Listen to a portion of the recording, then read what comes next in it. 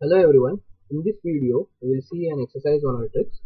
The objective of this particular exercise is what is the use of join multiple tools in Alteryx. So this is basically join multiple tool which we are going to have it under the join tab. So for this purpose we have to input the data, we have to load the data. So we have to go to this in out tab, drag this input data tool.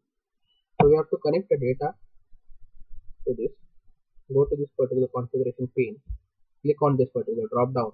So it will redirect us to the data connection window. So if there will be a selected path the path is already being given.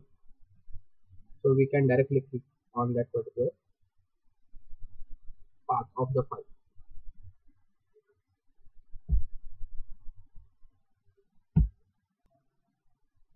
Now the path for the file named as sales 2017 that copy has been selected. So we will select the range. So we will go to this particular. And we will select the range as month underscore y we'll click on ok.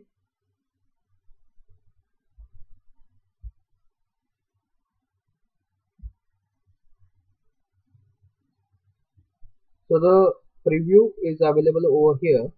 So this is basically consisting of three fields or three columns I'll just click on run so that the data will be available in the result workflow over here. So you can also press Control R.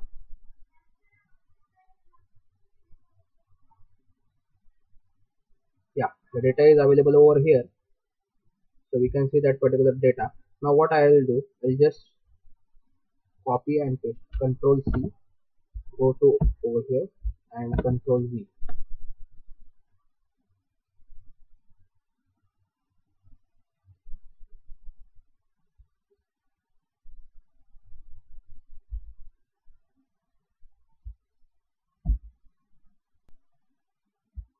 so it is being pasted over here. So I'll again make it as control C for copy and then press control V for paste. So we will require three inputs because we are using this join multiple tool in which we can uh, use the input data tool multiple. So three will be the input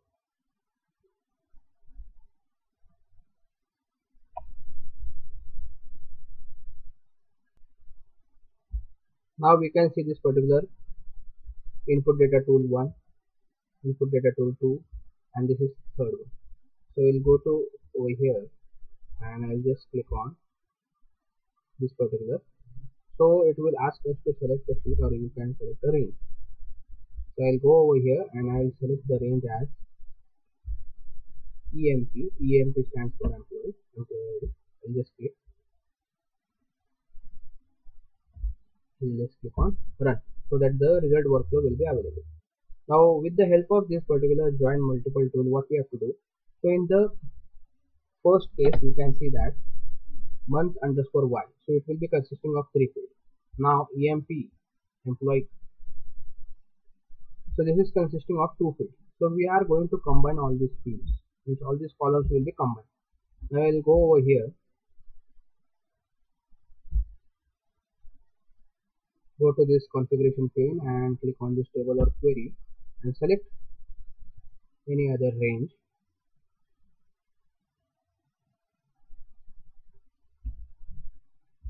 Now I'll select the range as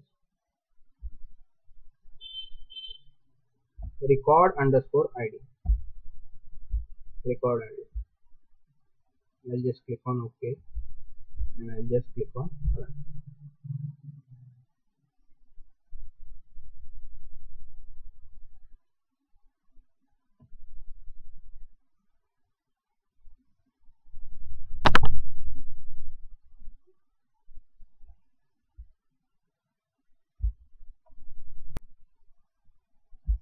so over here we can see that in case of this particular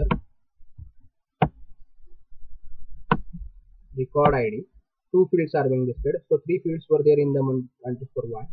In second one emp there was another two fields. So 3 plus 2 is 5 and then in the last one there are two fields in record id so seven fields how we are going to comment that we will see. Now go to this join tab. Bring this join multiple tools over here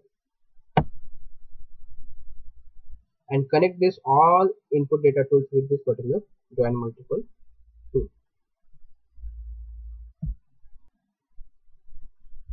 So as we can see that over here three inputs will be connected to this join multiple tool which is available under the join tab. First, second and third. Okay. So what we have to do, go to this particular configuration pane, click on join by records, record position and then we have to click on run so that all the range tables will be combined so that we will get the output combined. Click on run.